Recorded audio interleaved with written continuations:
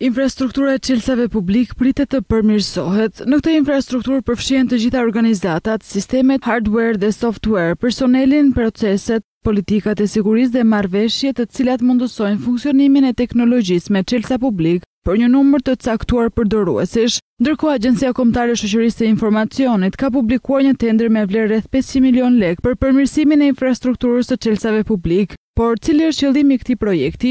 Qëllimi është përmirësimi i performancës duke dhënë siguri në sasinë e rritur të trafikut dhe të dhënave të procesuara, përmirësimin të sigurisë për të garantuar siguri më të rrepta për sa i përket mbrojtjes së infrastrukturës nga kërcënimet e jashtme dhe të brendshme, sigurimin që të dhënat dhe certifikatat të mund të përdoren si më parë, gjithashtu monitorim dhe menaxhim të performancës për të identifikuar dhe trajtuar problemet ose bllokimet e mundshme në kohë reale.